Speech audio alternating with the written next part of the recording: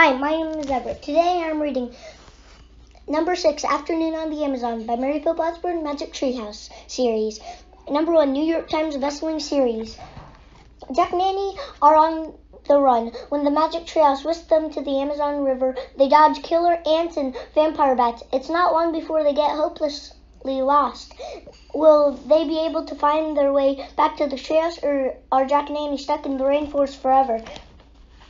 We will find out in this book. So, if you're sitting comfortably, let's begin. Prologue. Once upon a day in Creek, Pennsylvania, a mysterious treehouse appeared in the woods. Eight-year-old Jack and his seven-year-old sister Annie climbed into the treehouse. They found it was filled with books. Jack and Annie soon discovered that the treehouse was magic. It could take them to the places in the books. All they had to do was point to a picture in which to go there. Jack and Annie visited the times of dinosaurs, knights, pyramids, pirates, and ninjas. Along the way, they discovered that the treehouse belonged to Morgan Le Fay. Morgan is a magical librarian from the legendary realm of King Arthur. She travels through time and space gathering books. In their last adventure, Night of the Ninjas, Jack and Annie learned that Morgan was under a spell. To free her, Jack and Annie have to find four special things in old Japan. They found the first thing, a moonstone. Now Jack and Annie are about to set off in search of the second thing. In Afternoon on the Amazon, Chapter 1, Where's Peanut? Hurry, Jack, shouted Annie. Annie ran into the Frog Creek woods. Jack followed her. It's still here, Annie called. Jack got up with Annie. She stood beside a tall oak tree. Jack looked up. The magic treehouse was shining in the afternoon sunlight. We're coming, Peanut, Annie called. She grabbed the rope ladder and started up. Jack followed. They climbed and climbed. Finally, they climbed into the treehouse. Peanut, said Annie. Jack took off his backpack. He looked around. Sunlight slanted across the stacks of books. A books about ninjas, pirates, mummies, knights, and dinosaurs. The letter M shimmered on the wooden floor. M for Morgan Le Fay. I don't think Peanut's here, said Jack. I wonder where she is, said Annie. How do you know she's a she? asked Jack. I just know, said Annie. Oh, brother, said Jack. Squeak! Annie laughed. Jack looked. Jack, look! A small pink sock was moving across the floor. Yesterday, Annie had turned her sock into a bed for Peanut. Annie picked up the tiny lump. Squeak! A brown and white mouse peeked out of the sock. She looked from Jack, Annie to Jack with her big eyes. Jack laughed. Hi, Peanut, he said. Will you help us again? asked Annie.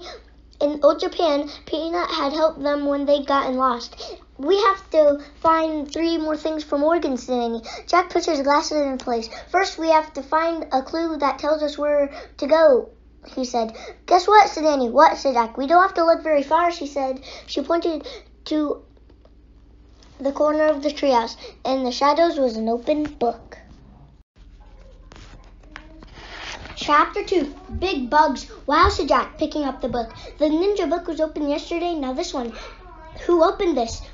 Jack closed the book and looked at the cover. It showed a picture of a green forest. The trees were very tall and close together. On the cover were the words, the rainforest. Oh, wow, said Jack. Oh, no, said Annie. What's wrong, said Jack. I learned about the rainforest in school, said Annie. It's filled with big bugs and spiders. I know, said Jack. Half of them haven't even been named. It's creepy, said Annie. It's neat, said Jack. He wanted to take lots of notes on the rainforest. Maybe he could even name some unknown bugs. Neat yucks, Annie. She shivered. I don't get it, said Jack. You weren't afraid of dinosaurs, so you weren't afraid of the castle guards or the mummy's ghosts, so you weren't afraid of pirates or ninjas, so you're not afraid of really scary things, but you're afraid of little bugs and spiders? That doesn't make sense. So Jack sighed. Listen, he said, we have to go there. To help Morgan. That's why the book was left open. I know, said Annie frowning. Plus, the rainforests are being cut down said Jack. Don't you want to see one before it's too late? Annie took a deep breath and slowly nodded. Okay, then let's go, said Jack. He opened the book again. He pointed to the picture that showed blue sky, green leaves, and bright flowers. I wish we could go there, he, he said. The wind began to blow. Squeak! Stay there, Peanuts! said Annie as she put the mouse in her pocket. The wind picked up. The trash started to spin. Jack squeezed his eyes shut. The wind whistled. Now the treehouse was spinning faster and faster. Then everything was still, absolutely still. Loud sounds broke the silence. Screech, buzz, chirp, chirp! Chapter 3 Yikes! Jack opened his eyes. The air was hot and steamy. It looks like we landed in some bushes, said Annie.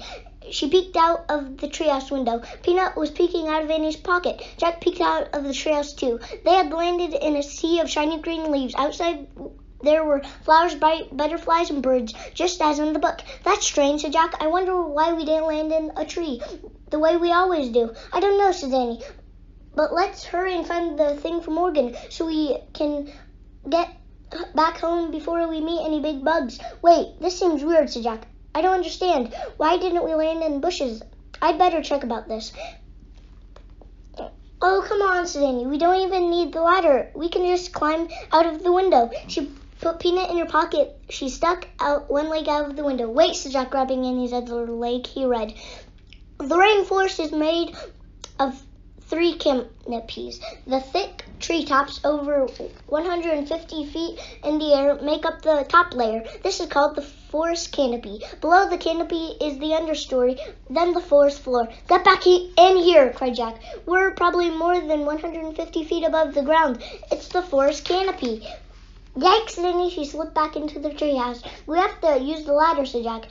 He got on his hands and knees. He moved leaves away from the hole in the floor. He looked down. The ladder seemed to fall between the tr- branches of the giant trees, but Jack couldn't see beyond that. I can't tell what's down here, he said. Be careful. Jack put the rainforest book into his backpack. Then he stepped onto the rope ladder. He stared down, and he followed with Peanut in her pocket. Jack pushed through the leaves. He came to the understory below the canopy. He looked down at the forest floor. It was very far away. Oh man, whispered Jack. This world was completely different from the world above the treetops. Now that they were out of the sun, it was cooler. It was cooler. It was also damp and very quiet. Jack shivered. It was the spookiest place he had ever seen. Chapter 4 Millions of them. Jack didn't move. He kept staring down at the forest floor. What's wrong? Annie called from above. Jack didn't answer. You don't see any giant spiders, do you? said Annie. Well, no. Jack took a deep breath.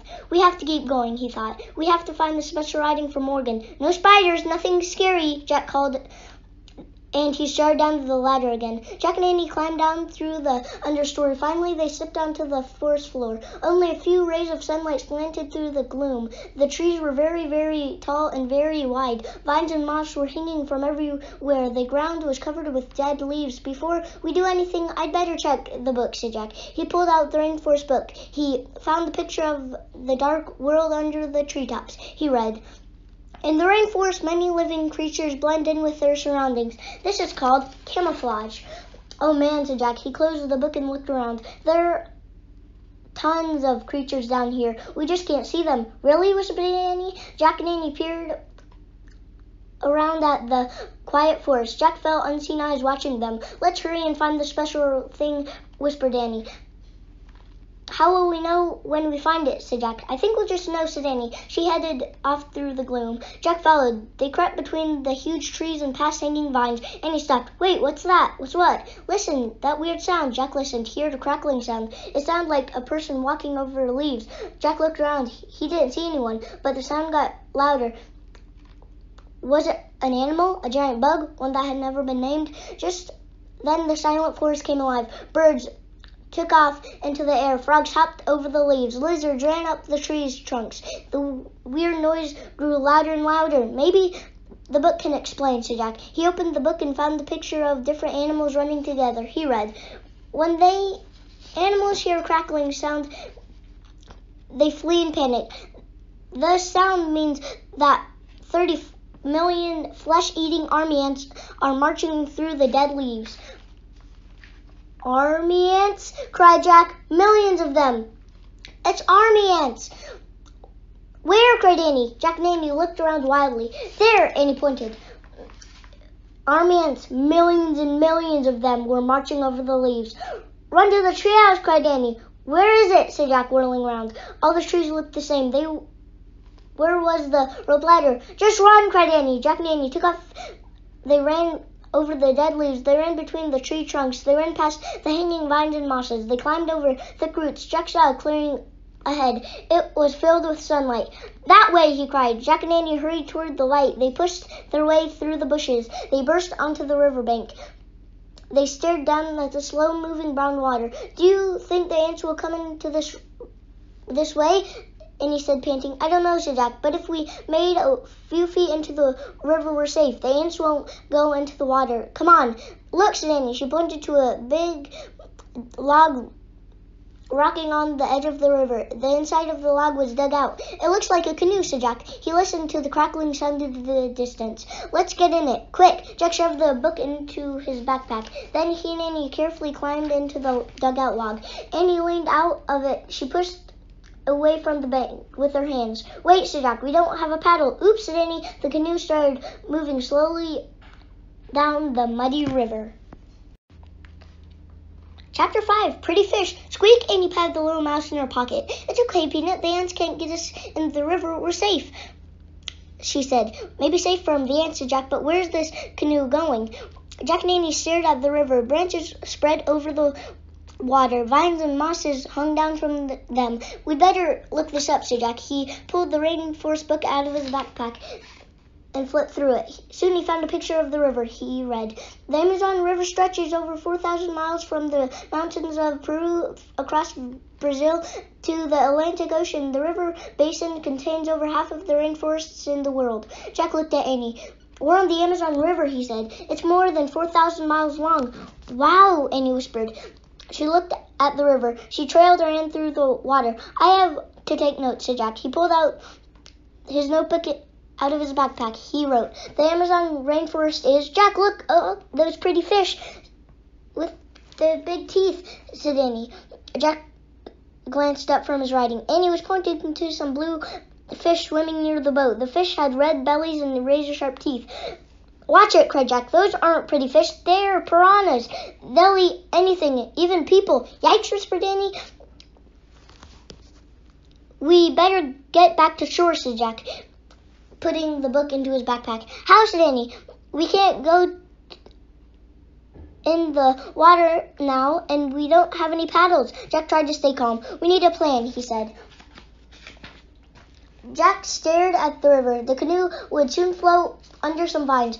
I'll grab a vine, he said, and pull us to shore. Good idea, said Annie. As they glided under the branches, Jack stood up. The canoe rocked. He nearly fell out. Balance the canoe, said Jack. Annie leaned to one side. Jack reached. He missed. The canoe floated under more vines. Jack reached for another thick vine. He grabbed it. It was cold and scaly. It wiggled and jerked. Ah! screamed Jack and fell back into the canoe. The vine was alive. It was a long, cracked green snake. The snake fell into the from the tree. Splashed into the water and swam away. Oh man, said Jack. He and Annie stared in horror at each other.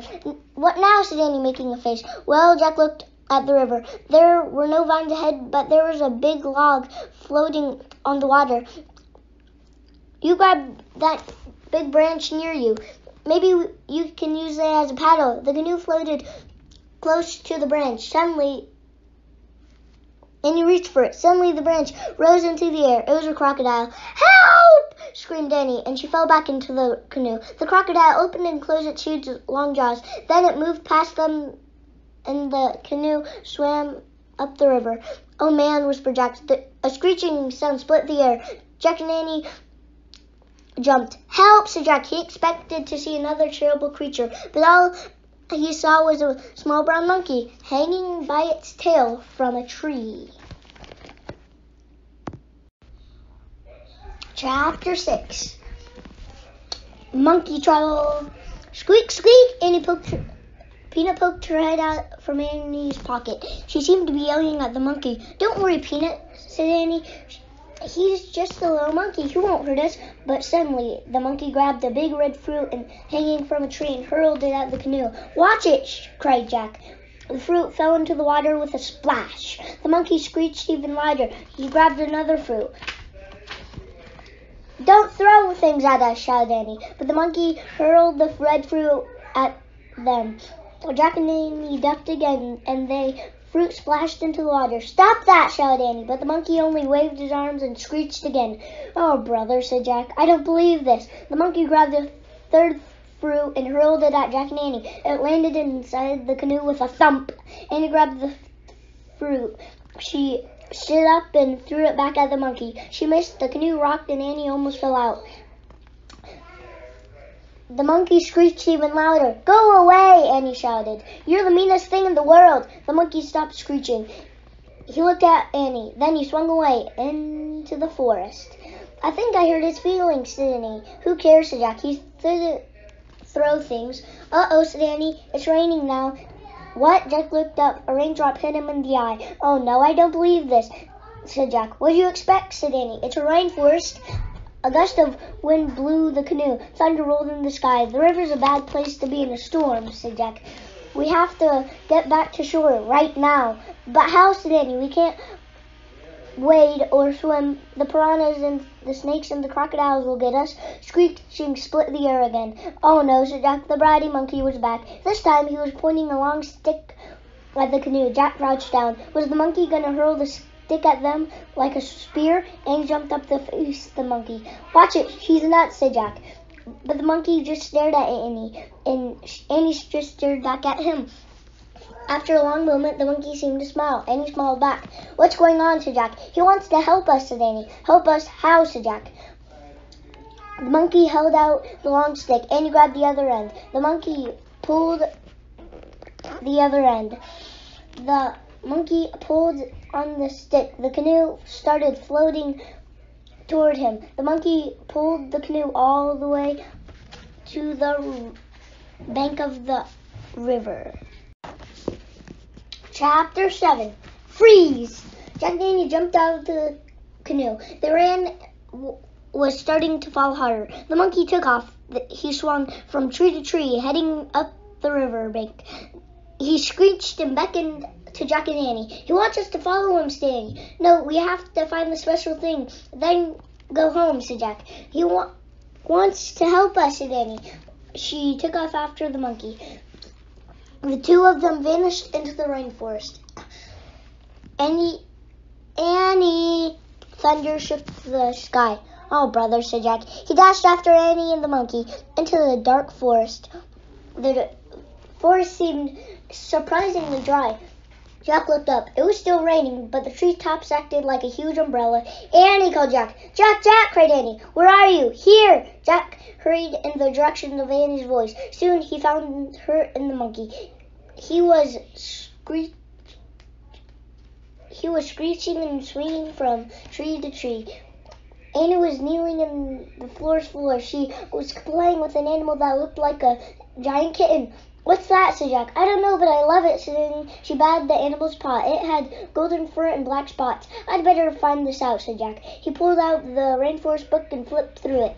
It's so cute, said Annie. Jack found a picture of the animal with gold fur and black spots. He read, The jaguar is the biggest predator in the western hemisphere.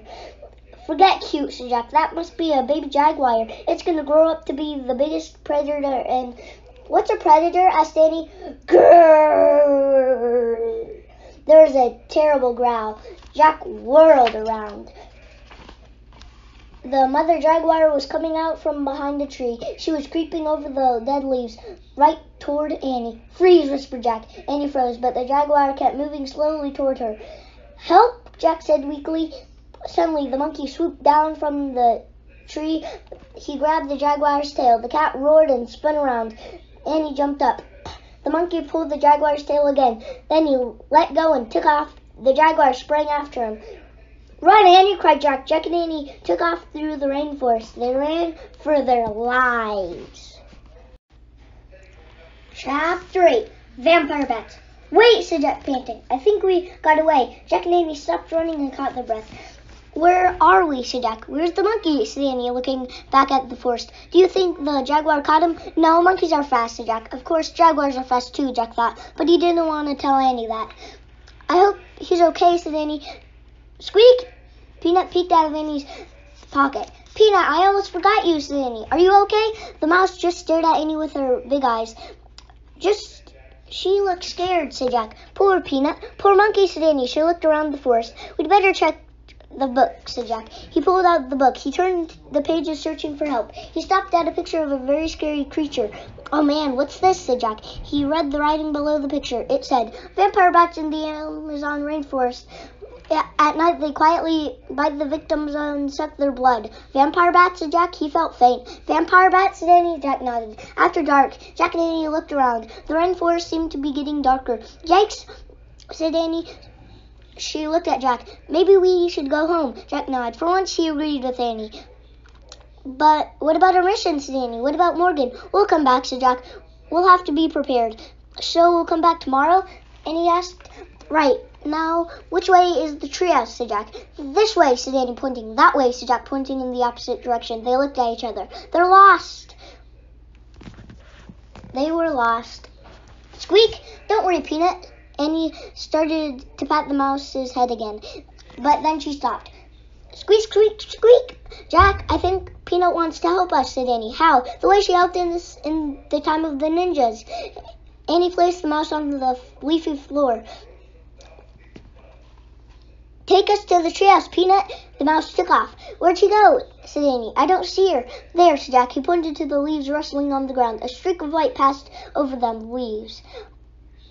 Yes, there, said Annie. Jack and Annie followed the moving leaves. The streak of light appeared and disappeared. Suddenly, Jack stopped. The floor's floor was still. There was no sign of Peanut. Where did she go? asked Jack. He kept staring at the ground. Jack! Jack glanced around. Annie was standing on the other side of a nearby tree. She was pointing up. Jack looked up.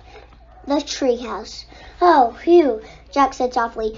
She saved us again, said Annie. She's running up the ladder all by herself. Look! Annie pointed at the rope ladder. Peanut was climbing up one of the ropes. Let's go, said Jack. Annie started up the ladder. Then Jack followed. They followed Peanut all the way up to the canopy of the for- rainforest. Chapter 9 The Thing Jack and Annie climbed into the treehouse. Peanut was sitting on a stack of books. Annie patted the little mouse's head. Thanks, she said softly. I have to write some notes about the rainforest, said Jack. He you pull you find the Pennsylvania book. Annie began searching for the Pennsylvania book, the book that always took them home. Jack pulled out his notebook. He had not written he don't not taken lots of notes, but all he's written so far was the Amazon rainforest is. It's not here, said Annie. What? Jack looked up. He glanced around the treehouse, and he was right. The Pennsylvania book was nowhere in sight. Was it here before we left? said Jack. I don't remember, said Annie. Oh man, said Jack. Now we can't get back to Frog Creek. That means we'll be here when the vampire bats come out, said Annie. Something came flying through the treehouse window. Ah! said Jack and Annie. They hid their heads. Thud! Something hit the floor. A red fruit. Jack looked up. The monkey was sitting on the windowsill. His head was cocked to one side. He seemed to be grinning at them. You're safe, said Annie. Thanks for saving us, said Jack. The monkey just grinned. I have one question, said Annie. She pointed at the fruit. Why do you keep throwing those at us? The monkey grabbed another fruit. No, don't throw it, said Jack. He ducked. But the monkey didn't throw the fruit. He held it out to Annie. He moved his lips as if trying to say something. Annie stared into the monkey's eyes. He moved his lips again. Wow, Annie said softly. I understand now. Understand what? said Jack. Annie took the fruit from the monkey. This is it, she said. The thing we need. What thing? said Jack. One of the special things we're supposed to find for Morgan, she said, to free her from her spell. Are you sure? said Jack. Before Annie could answer, Jack saw the Pennsylvania book. Look, our book, he said, pointing. We found the thing and now we can see our book, said Annie. That's the way the magic works, remember? Jack nodded. Now he remembered. The ninja master said they hadn't be able to find the Pennsylvania book until they had found what they came for. The monkey screeched with laughter. Jack and Annie laughed, looked at him. He was clapping his hands together. Annie laughed with him. How do you know to give this to us? she said. Who told you? The monkey just waved at Jack and Annie. Then he turned and swung away off through the trees. Wait! Jack looked out the window. Too late. The monkey was gone. He had vanished below the treetops. Goodbye, called Annie. A happy screech came from below, the mysterious world below. Jack sighed. He picked up the, his notebook again. He looked at his writing. The Amazon rainforest is. He had to write something before they left. He had quickly added, amazing. Jack put away his notebook. Annie picked up the Pennsylvania book. Now it's really time to go leave, she said. Annie turned to the picture of the Frog Creek woods. I wish we could go there, she said. The wind started to blow. The trees, the leaves began to tremble. The trees began to spin, spin faster and faster than everything was still, absolutely still. Chapter 10 Halfway there, squeak! Jack opened his eyes. Peanut was on the treehouse windowsill. We're home, said Annie. Jack breathed a sigh of relief. Annie held up the fruit up to the afternoon light. What exactly is this? she asked. Maybe it's in the book, Jack answered. He pulled out the rainforest book. He flipped through the pages. He came to a picture of the red fruit. Here it is, he said. He read out loud. The mango has a sweet taste like that of a peach. Mango? Hmm, Miss Annie. She brought the fruit to her lips. Hey, said Jack, grabbing the mango from her. We have to put it with the moonstone. Jack placed the mango on the curved um into the floor next to the clear moonstone. Moonstone mango, whispered Annie. It sounds like a spell. We're halfway there, said Jack. Two more things to go. Then we can free Morgan from her spell. Annie called as if Morgan were nearby. How do you know she can hear you? said Jack. I just feel it, said Annie. Oh, brother, said Jack. We need more proof than that. Squeak! It Peanut was looking at Jack and Annie. We have to leave you now, said Jack to the mouse. Squeak, can't we take her with us, said Annie. No, said Jack. Mom won't let us keep a mouse in the house. She doesn't like rice, mice, remember? How could anyone not like a mouse, said Annie. Jack smiled. How could anyone not like a spider, she said. That's different. Annie patted Peanut's head. Bye, she said. Wait for us here. We'll be back tomorrow. Jack patted the mouse too. Bye, Peanut. Thanks for your help, he said. Squeak! Jack put the rainforest book uh, on top of the book about ninjas. Then he pulled on his backpack, and he and Annie left the treehouse. They climbed down the rope ladder. They stepped onto the ground. They started walking through the Frog Creek woods. Leafy shadows danced in the light. A bird called out. These woods are very different from the rainforest, Jack thought. There are no jaguars or army ants here, he said. No little monkeys. You know, the monkey was never being mean, said Annie. He was just trying to give us the mango. I know, actually nothing was being mean to Jack. The army ants were just marching. That's what army ants do. The piranhas were just being piranhas, said Annie. The snake was just being a snake, said Jack. The crocodile was just being a crocodile, said Annie. The jaguar was just taking care of her baby, said Jack. Annie shuddered. I still don't love bugs, she said. You don't have to love them, said Jack. Just leave them alone and they won't bother you. In fact, the, the truth that's the truth about the whole rainforest, Jack thought. Everyone should just leave it alone. Who cares if bugs don't have names? They, he said softly. They knew who they are. Jack and Annie stepped out of the Frog Creek woods. They started walking up their street. In the light, with the golden light, Race you, Annie. They took off running. They ran across the yard. They raced up the steps. Safe, they shouted, tagging the front door together. Now, I'll tell you one the bonus. Growing up in the rainforest. Rainforest children learn a lot growing up in the rainforest. Here are some of their lessons. One, what to eat. Some rainforest kids plant and some rainforests plants and animals are poisonous. Rainforest children learn what to eat and what's dangerous. Two, how to hunt and cook. Girls learned to find good plants to eat and how to cook them. Boys learned to hunt animals with spears, bows and arrows and nets.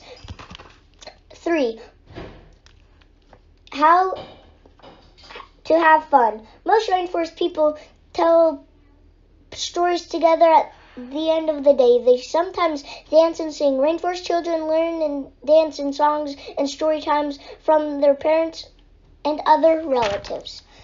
So, bye. Hope to see you next time. I'll read another book soon if I find one at the library. Oh, you know, this whole time where I've got all my books, only one of them I didn't get from the library. All the others I had to get from the library because they have a lot of popular series. So, bye. Hope you like this book.